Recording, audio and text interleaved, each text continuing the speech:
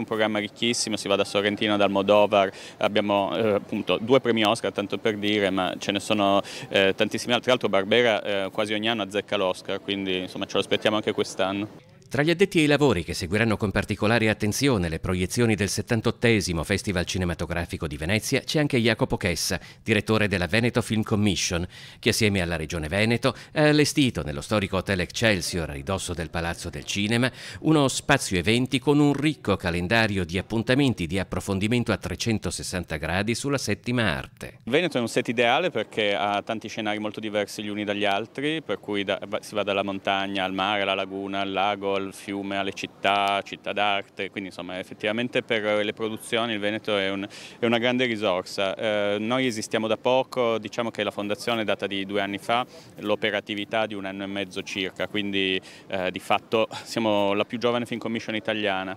e, mm, e sicuramente eh, anche con l'introduzione del fondo di sostegno a una produzione da parte della Regione Veneto c'è un grandissimo interesse verso il Veneto come set. Oltre a promuovere un territorio, a preservarne e valorizzarne la cultura e le diverse realtà, il cinema rappresenta anche una risorsa economica in grado di creare migliaia di posti di lavoro. Il Veneto sicuramente mm, diciamo, ha moltissime figure estremamente capaci, estremamente professionali